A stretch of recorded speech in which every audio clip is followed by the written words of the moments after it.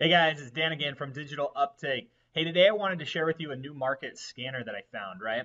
Uh, a couple days ago, I shared with you a crypto market scanner, and I'll just show it to you real quick here. Um, I introduced you guys to this new uh, crypto market scanner, uh, which is pretty good, and I've been using it actually for, for quite some time now, and uh, it's been working fairly well. And I just wanted to make you aware of a new tool that I've discovered that's, that's similar, but it's actually it, it offers a few more capabilities than this. Um, so if you remember last time we looked at the crypto market scanner, you know, you, you looked at the basics. It basically tells you or alerts you when there's a, a percentage change um, to a particular coin on any one of these four exchanges, right? So anytime one of these coins, anytime the price drops below a certain percentage, and you can actually set that up here, right? Right now I have it set to 8%. Uh, but anytime it drops below that percentage, you will be alerted, right? You can be alerted uh, right here through this um, through this dashboard. They don't ne- necessarily have email uh, alerts yet. Uh, I'm sure it's coming, but they don't have it quite yet. Uh, but this tool has been pretty pretty effective, right? So anyway, today I wanted to uh, inform you or let you know about a new tool um, that I've recently discovered. I, I just signed up. I'm not a paying customer yet, um, but I just signed up, and it, it looks like it does have some promise. Uh, it's called Coindera. So if you go to coindera.com, you'll be able to see what this is. Um, they basically are another cryptocurrency market scanner, um, but they have a bit more functionality than the last scanner I just showed you. Um, and you can kind of see here on their homepage, right? They can track and alert users based on the price point of a particular cryptocurrency, based on a percentage change of that currency. You know, the price goes up or down um, or you know a regular update. If you want to get a daily update on the price at a certain time, you can get that as well. So fairly similar to what we see in the other crypto market scanner, but just a little bit more robust, a little bit more features. Um, so let me go ahead and sign in, and I'll show you kind of how it works. Even though, again, like I said, I'm not a paying customer, so I can't show you all of it, but I can show you some of it. Uh, so let me do that real quick. Oh, something happened there. Let me log in. Sorry about that. All right. So, okay.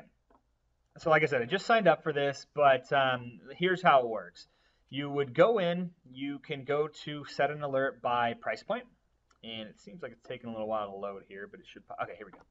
And then you can select the market that you want to monitor, right? So in this case, let's just say I want to monitor Bittrex, right? That's a good market. And let's say I want to measure or monitor, uh, let's just try to find Bitcoin here I got to put in Bitcoin. See if I can type it in. Bitcoin to US dollar tether. That's what I want to monitor. Um, and then I want to, oh, you can monitor based on, or you can get an alert based on the buy price, a sell price, a high price, a low price, or a volume.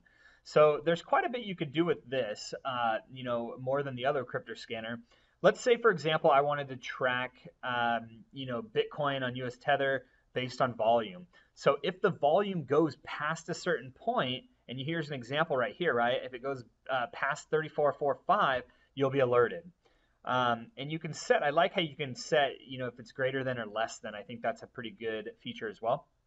Um, what I would mainly use it for probably is, uh, you know, the low price and then potentially on the buy and sell prices here um, and it'll email you by email. I'm sorry, it'll alert you by email, um, unlike the other scanners. So I think that's pretty good. Um, and you can do multiple multiple scans, right?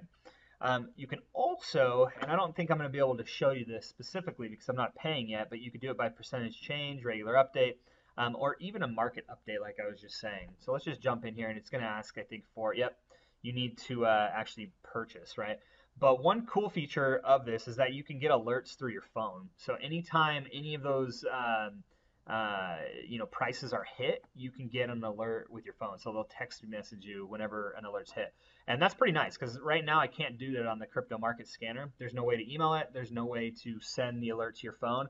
Um, and so I like this feature pretty pretty good. I mean I like it quite a bit because um, that's key. A lot of times when I get the alerts and I'm not at my computer, um, I can't do anything about it, right? But if I get a text message, then I could run to my computer and I could make a trade if I if I want to, right? Um, I also like how they show your activity. I don't have any alerts yet, but I do like how they show your activity.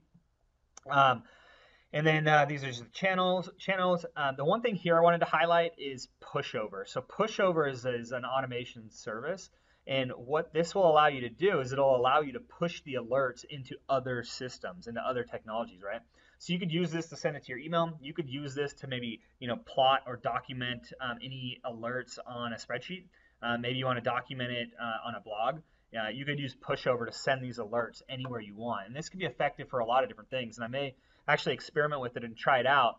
Um, if I set alerts on here, I may try to push it to a central location so that people, you know, watching this video um, can see my alerts and actually get my alerts when I when I make them, and then my trades as well. Um, so anyway, I just wanted to uh, let you know about this particular tool. Uh, I'm going to be testing it out in the next few days, and I will let you know how it goes.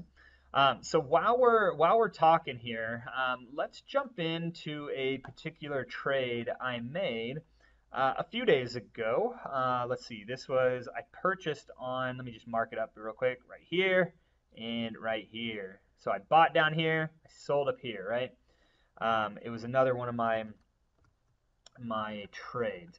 So I'll show you again how I made this trade, but but look at this. Just think about this for a minute. This is a huge swing. I went and I bought at the bottom of 2807, right?